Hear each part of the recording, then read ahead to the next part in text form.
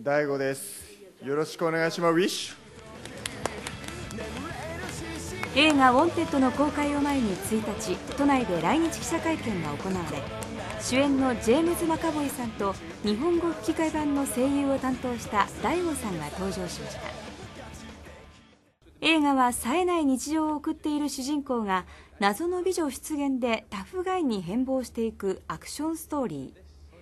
大悟さんは映画の日本語吹き替え版で声優に初挑戦した感想について話しました。いやねやっぱ初っ端は俺本当にこんなにねセリフも多いと思ってなかったんですよ。もう本当にもう台本見てセリフこう見るじゃないですか。もうほぼ7割8割もずっともうウェスリーのセリフなんでやばウィッシュだなこれと思ったんですけどまあでももう日々ねもう台本もらってもうあふれんしまくってもうびっちりねやりましたよ。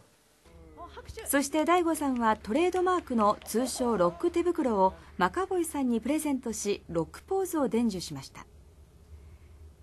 いやちょっとねまさかこのロックポーズが世界進出するとはね思わなかったんでいやめっちゃ本当に嬉しいウィッシュ映画「ウォンテッド」は9月20日より全国で公開されます。